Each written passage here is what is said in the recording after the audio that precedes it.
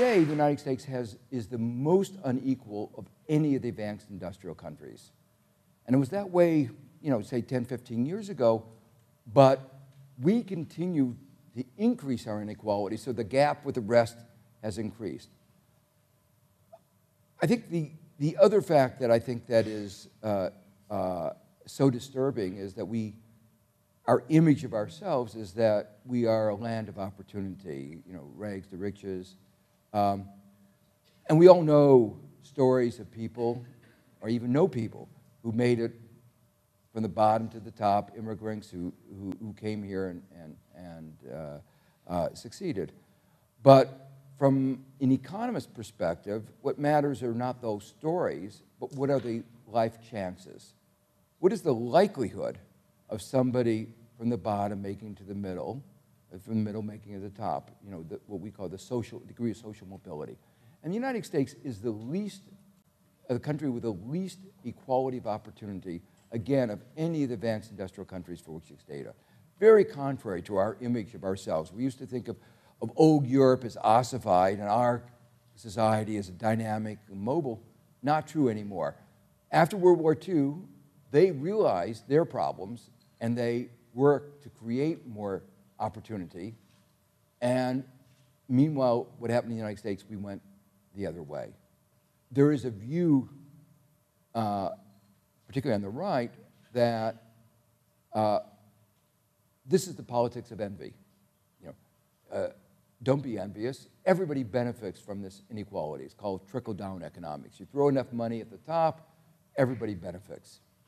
Uh, the evidence is to the contrary, that while the top has done extraordinarily well in the last 30 years, uh, their share of the GDP has, has doubled. Uh, the top 1% share ha ha has doubled. Um, most Americans today are actually worse off than they were, say, a decade and a half ago. Median income, income of those in the middle, is actually lower today than it was in 1997. Um, and the, the numbers that just came out today from the Federal Reserve show that in terms of wealth, things are even worse. Uh, that this has been compounded, obviously, by, by the housing bubble breaking, but uh, what we've done is been to, for most Americans, wiped out all the savings, increasing their wealth over the last several a couple of decades. So uh, uh, the picture is not a pretty one.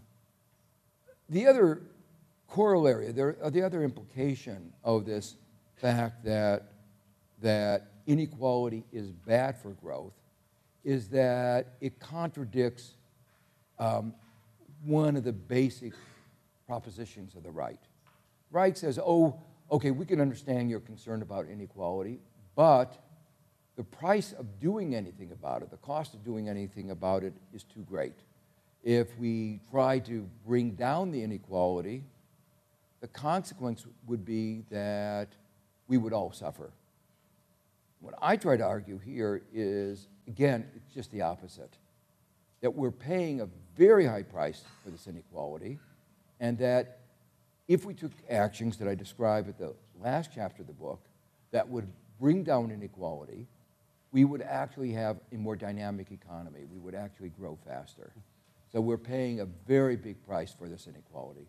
We've been talking a lot about the extremes at the top, but uh, there are also the problems at the bottom, that the proportion of the population in poverty has been increasing and uh, there's a problem of the hollowing out of the middle. Uh, the the uh, middle class isn't uh, doing very well.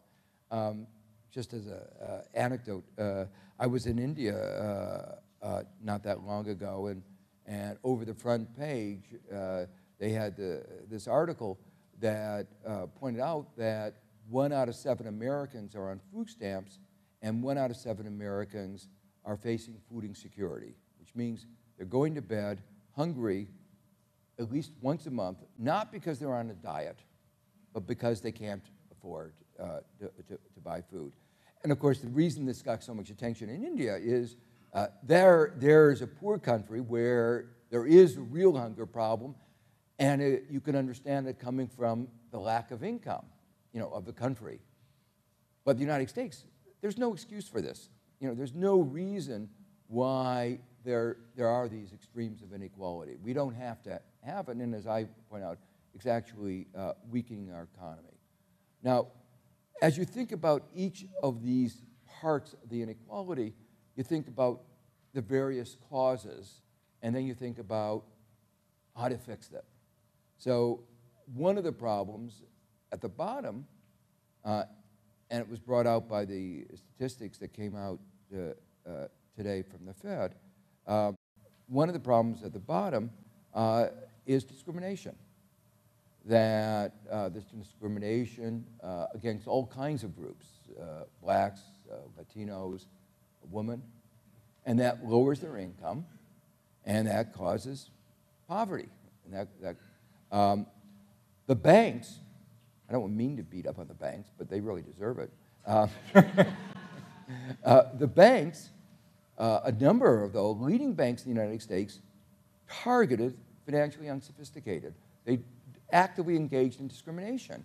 They, they used their toxic mortgages, their bad loans, and focused it on those who were, were uh, uh, uh, uh various groups, Afro Americans, Latinos. And you know, this is not just mine, my saying this.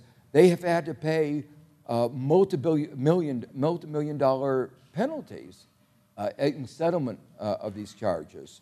Well, as I mentioned, the people at the bottom and the middle have lost in this recession an enormous amount of wealth. But the losses of the African American community and the Latinos was absolutely devastating because they were targeted by these bad loans. And so, you know, the uh, people who were aspiring to become, join the middle class now really have had their dreams uh, really dashed. So my you know, me message, who owns the, that part of the story, I think it's really important that those in the business community not stop this kind of discrimination uh, uh, pay decent wages and, and you know, deal with these, these uh, longstanding problems. I hope that people at the top will realize that it's in their enlightened self-interest to make sure that everybody partakes of the American dream.